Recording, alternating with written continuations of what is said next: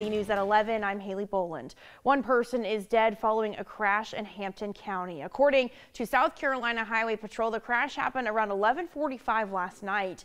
Troopers say it happened on US 601 at Clifton Drive, just a few miles south of Hampton.